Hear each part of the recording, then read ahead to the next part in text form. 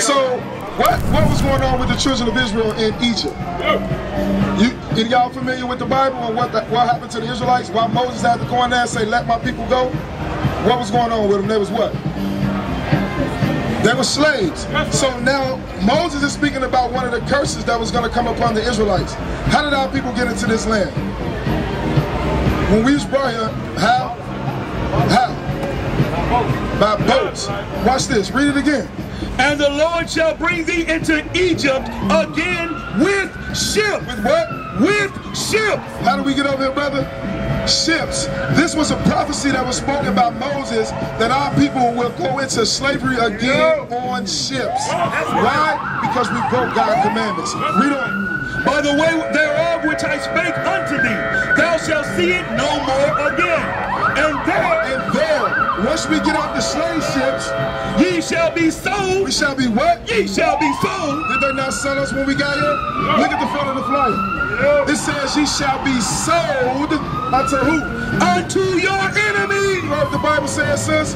God says that when we get off the slave ships, we will be sold unto our enemies. What race of people sold us?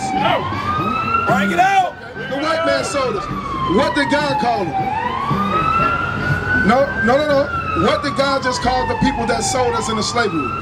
Read that part again so you catch it. And ye- And ye shall be sold unto your enemy. So the people that sold us is what? Would a friend sell you into slavery? Definitely not, right? Bring you over here, rape your women, mu- rape your men, take your children, give me verse 32, and sell them to another nation. Would, your, would a friend do that to you? Would a, would a friend put drugs in your neighborhood? Guns in your neighborhood? Bring it out. Who putting these things in our community? The white man.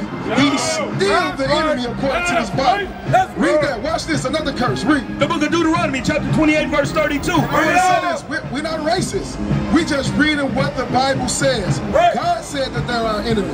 Read. Thy sons and thy daughters shall be given unto another people. Did this not happen to us as a people? Was not our sons and daughters taken from us and given to another people? Yes. They was taken from us and sold to Master Charles in Virginia. And you never seen them again. Read. And thine eyes shall look and fail with longing for them all the day long. And there shall be no might in thine hand. So all we did when they took our children was cry. Cry, cry, cry, and we had no power to get them back. True or false? That's true. So brother, did you know that this thing was written in the Bible? No. Did you be honest? Not to this extent, but did you grow up in church? You grew up in church, but they never taught you these things. Why? Because they're not teaching the truth, brother. You must know who you are in order to make, you trying to make it to the kingdom of heaven, right? Watch this. Give me Revelations 21 real quick. What? How many gates is there in the kingdom of heaven? Gates is there in the kingdom of heaven. Is it one? Or is it two? How many is it? No, I'm asking you, how many? Is it one? Is it two? One gate, right? So that's what you was taught at church. Today, you're going to be taught the truth. The book of Revelation, chapter 21 and verse 12. And had a great and had a wall great and high, We're speaking about the kingdom of heaven. The kingdom of heaven is going to have a wall great and high. and had 12 gates, How many gates in the kingdom of heaven? and had 12 gates. It had 12 gates. Hold this and give me Matthew chapter 24, and I want verse 5. Matthew 24, verse 5. You've been lied to all your life. Just like all of us been lied to all our life. But the Lord has woke us up and brought us to understanding. Now it's time to bring you to understanding to save your soul from death. Matthew chapter 24 and verse 5. How many shall come in my name, saying, I am Christ? Jump down to verse 20, 24.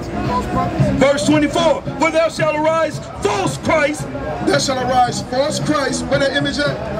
The image of the beast? Is it on that side? So what color is Christ? They say white. So now the now we're living in these prophecies right now. This is Jesus Christ speaking.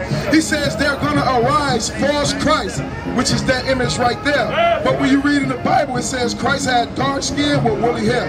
Right? Read. for there shall arise false Christ, and false prophets, And what? False prophets, and shall show great signs and wonders. So the Bible says that they're going to arise false Christ and false prophets, meaning there's going to be false teachers teaching you the wrong thing. Are you still in church, brother? You got to come up out that thing right there. They never taught you this? That, let me show you what we, I want to show you if they read this scripture to you because we trying to save your soul. Give me uh, 2 Peter's real quick, chapter 3. We're the Israelites, brother. We're not black. We're not niggas. We're not Negroes. What they called us when we came over here. We are the Israelites. Let me ask you a question.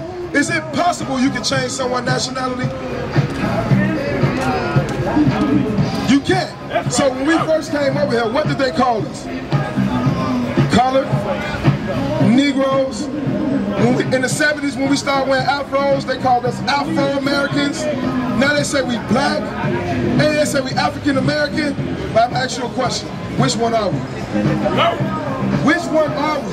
I'm asking you, sis, which one are we? Now you gotta understand, you cannot change someone's nationality. We're all the same people.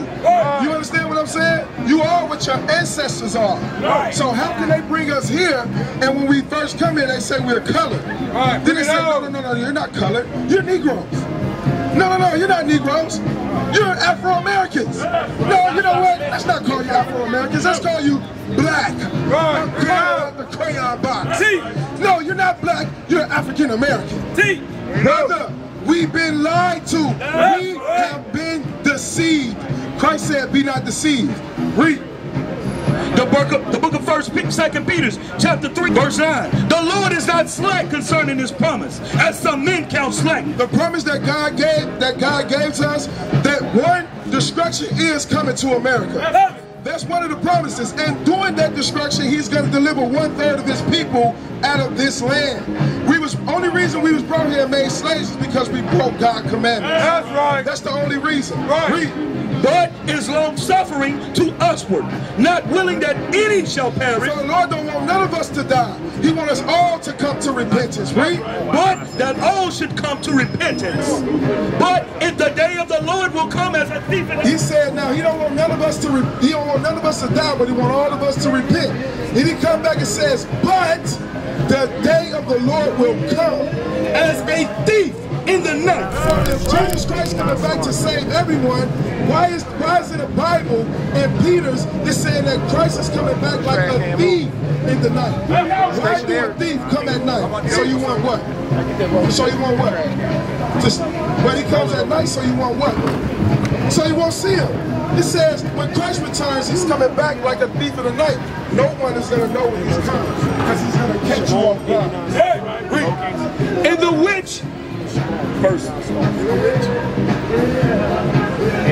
the which the heavens shall pass away with a great noise. You know what that said? You know what that means? It says, in the which the heavens, talking about the kingdoms on this earth, is going to pass away with a great noise. What can make a great noise? What you think that's going to be? Boom! Nuclear missiles is coming to America. That's prophesied in the Bible. I'm read it to you. Read. And the elements shall melt with fervent heat. It says, and the elements, meaning everything you see, is going to melt with fervent heat. Fire. Hold on, let me finish this real quick and I want to show you one more thing. Read. The earth also and the works that are therein shall be burned up. So everything is going to be burned up. So you must be sealed before Christ returns. You got to know who you are, brother. You're an Israelite according to the Bible. Let me get you a commandment. Give me uh, numbers real quick. One, one commandment.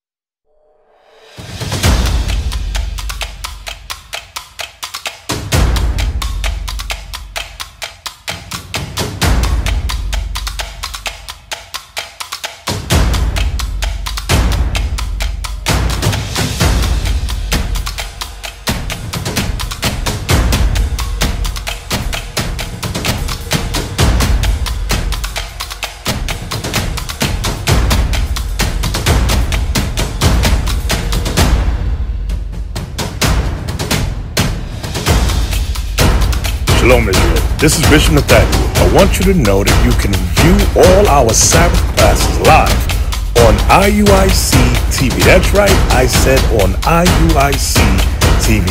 Download the app today. Shalom. Let me me get you one command.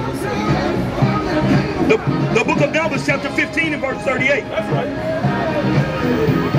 So you believe in tattoos? No, no, it's about the mark of the beast. I'm talking about, is it right for us to get tattoos? Okay, give me Leviticus 19, 20. I'm gonna get this one commandment, and I'm gonna let you go. Now it's up to you to repent, brother. It's up to you to come back to God commandment.